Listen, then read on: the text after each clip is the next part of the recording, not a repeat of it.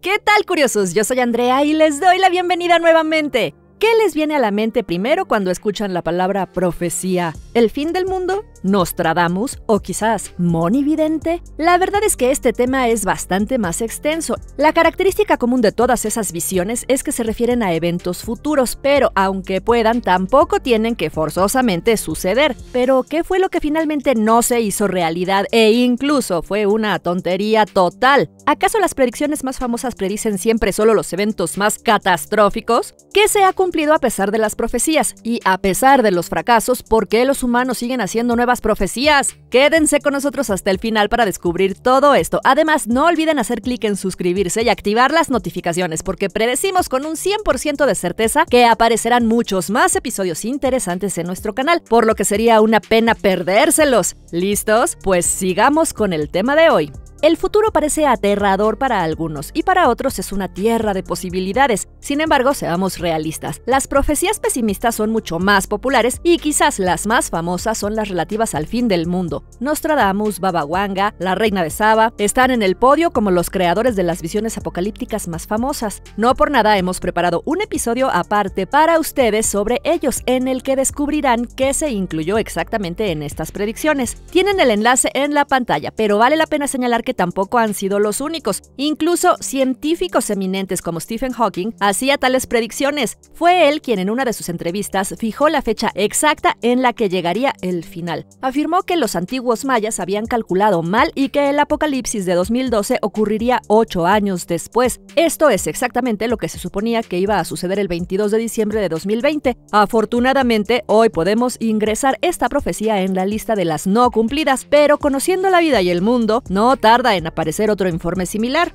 También hubo muchas teorías sobre el estallido de la próxima guerra mundial. Nostradamus escribió sobre la invasión del continente europeo por parte del Islam a principios del siglo XXI y que el conflicto duraría 27 años. Sin embargo, nada de esto sucedió y la visión de Baba Wanga, que fijó la fecha para noviembre de 2010, tampoco se hizo realidad. Otros profetas famosos también tuvieron revelaciones oscuras. El padre Eclimusco escribió sobre el ataque de los fieles a Europa y citó el hecho como que la Tercera Guerra Mundial estallaría en el sur. Alois Mayer, un clarividente de Alemania, habló en su profecía de las enormes fuerzas navales que librarán batallas en el Mediterráneo y también, citamos, que el polvo amarillo caerá de la ciudad dorada hasta la bahía. Habrá tres días de oscuridad y más gente partirá de este mundo que en las dos últimas guerras. Un dato interesante es que sus visiones ganaron una enorme popularidad en los últimos meses del año pasado y hubo mucha gente que pensó que de hecho íbamos a la guerra inmediatamente después de la pandemia del coronavirus. Este polvo amarillo ha sido interpretado como un gas venenoso, pero hay que señalar que en estas descripciones no se dio ni siquiera una fecha aproximada del conflicto. Es cierto que en 2020 hubo muchos hechos extraños e insólitos de los que por cierto les contamos en uno de nuestros episodios. Afortunadamente uno de ellos finalmente no fue la guerra mundial, por lo que también contaremos estas profecías como incumplidas.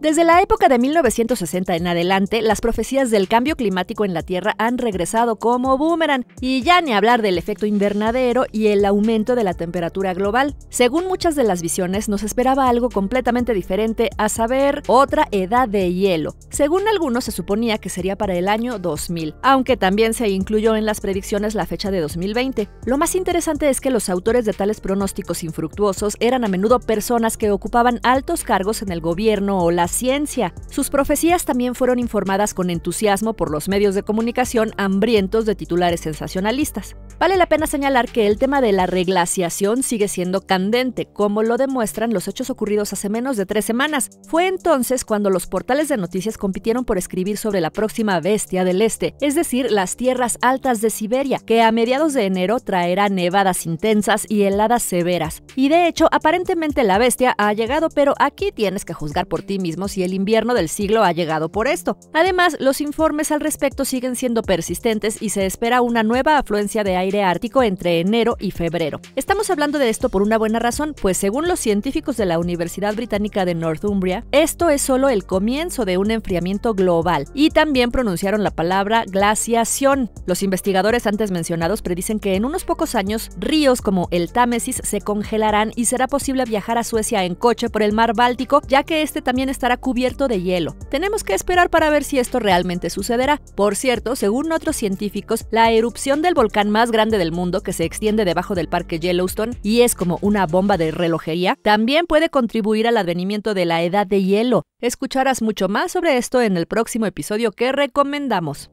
En fin, hace un momento hablábamos del apocalipsis, la guerra, la glaciación, entonces quizás sea hora de ir al espacio para variar y a la luna para ser exactos. Durante décadas la gente ha mirado al cielo y ha soñado con conquistar otros planetas. Incluso en la película 2001 Odisea del Espacio, Kubrick creó una visión de tales viajes y recordemos que fue en la década de 1970. Ya entonces la gente estaba convencida de que eso sería posible. Además se hablaba de ir de vacaciones a la luna y que allí se construirían hoteles para los viajeros terrícolas. Sin embargo, no ha sucedido nada por el estilo. Si bien los viajes tripulados sí se han convertido en un hecho, el llamado turismo espacial está detenido en este punto. Lo cual no significa que una persona privada no haya volado al espacio. En 2001, Dennis Taito se convirtió en el primer turista espacial. En los años siguientes, varias personas más pudieron hacer realidad su sueño de tal viaje. Luego, en 2009, dichos vuelos se suspendieron por completo debido a accidentes repetidos con demasiada frecuencia en las naves espaciales. Sin embargo, había planes para reanudar tales viajes para 2020. Los ciudadanos privados debían poder dar la vuelta a la Luna. Elon Musk ha hablado sobre los viajes a Marte, pero estos sueños tampoco se han hecho realidad.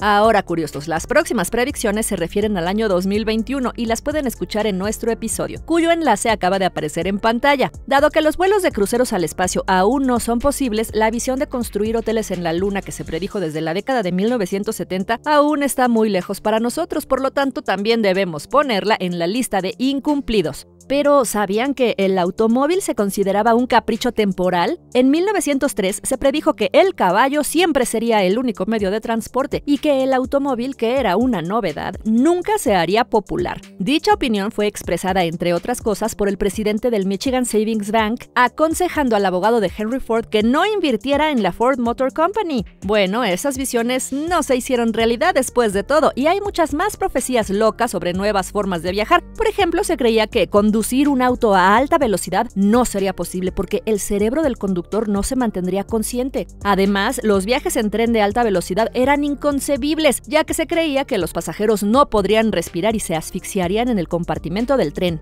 Siguiendo con las predicciones improbables, alguna vez se pensó que la electricidad no tenía futuro, los teléfonos se consideraban una idea estúpida y poco práctica, y que las computadoras no estaban destinadas a convertirse en una parte esencial de cada hogar. Luego tenemos que agregar a la lista de visiones incumplidas que los televisores nunca serán una gran cosa porque la gente se cansa de mirar fijamente una caja parlante todas las noches. Algunos también creían que ningún periódico electrónico podría reemplazar al de papel, pero si creen que tales predicciones solo sucedieron en el último siglo, permítanos corregirlos. Incluso en 2007 el CEO de Microsoft dijo que no había ninguna posibilidad de que el iPhone ganara una cuota de mercado significativa. ¿Podría haber estado más equivocado? Muchas predicciones también se aplican al año 2000 y se predijo que el mundo se volvería loco con el golpe de la medianoche del primero de enero. Se suponía que algo llamado el error del milenio contribuiría al caos. Quizás algunos de ustedes se hayan encontrado alguna vez con un concepto así y para aquellos que no lo hayan oído, enseguida se los explicamos. Tenemos que comenzar con el hecho de que en la era de las primeras computadoras, para ahorrar memoria, el año se escribía solo con los dos últimos dígitos. Así, para cuando venía el año 2000, el año finalizaba en 00 y mucha gente pensó que las computadoras lo tratarían como 1900, lo que sería, entre otras cosas, la causa de la destrucción de datos a escala mundial, el cierre de centrales eléctricas y graves pérdidas económicas. Se suponía que era el apocalipsis, solo que un poco diferente al que les describimos anteriormente.